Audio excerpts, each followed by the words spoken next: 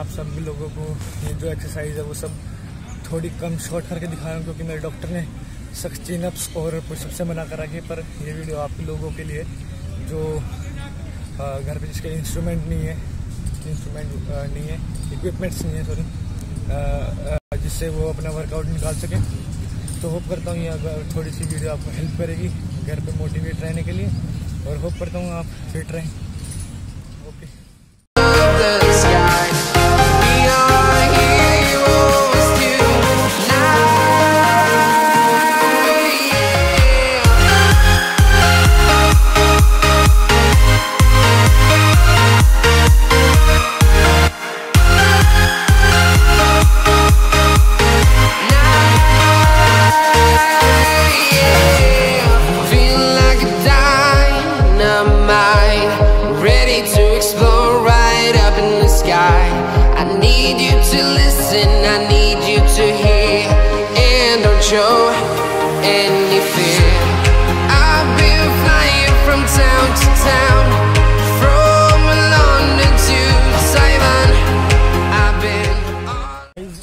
लोग कहते हैं ना कि वॉकिंग कार्डियो नहीं होता।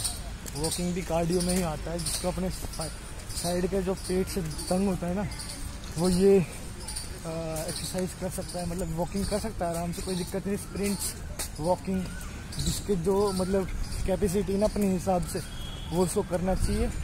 और दी बेस्ट वर्कआउट है। कार्डियो कार्डियो प्लैंक्स भी कर सकते हैं। यार, मैं आपको ज़्यादा एक्सरसाइज करके दिखा नहीं सकता। बात ये है, क्योंकि डॉक्टर ने मना किया है। मेरे जो चेस्ट में आपको मैंने पिछली वीडियो में बताया था ना कि चेस्ट में मेरा पेन था डॉक्टर ने मुझे कंप्लीट बेड रेस्ट के लिए बोला है। चेस्ट की एक्सरसाइज करने से मना किया है। तो इस वजह से मैं आपको बता नहीं पा रहा। थोड़ा सा थोड़ी एक्सरसाइज करके दिखाइए। होप करता हूँ आपको अच्छी लगेगी।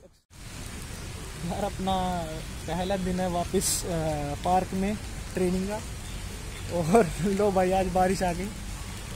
डर ये रहता है कि यार, जब स्वेट करते हैं ना अपन तो अगर उसमें भीग जाए ना तो तबीयत ख़राब होने के बहुत चांसेस रहते हैं और छोटा मोटा भी नहीं, बारिश के बारिश के पानी तो वैसे ही ठंडा होता है। ऊपर से हमारे स्वेटिंग होती रहती है और ऊपर से हवा लगती रहती है, मौसम भी बढ़िया था। तो मेरे कान तो ठिर चुके हैं, ऊपर से मुझे डर ये लग रहा है कि अगर थोड़ा ज़्यादा तेज़ बारिश आ गई, खड़े होने की भी जगह नहीं है, पेड़ों के नीचे खड़े हैं। देखते हैं अब यार कितनी देर में ख़त्म होती है और कब अपना घर पर जाके कुछ खाएँगे, पियेंगे और मौज लेंगे। देखते हैं, थोड़ा तबीयत को बचाना है भाई इस इस टाइम पे तबीयत को बचाना है। ठीक है?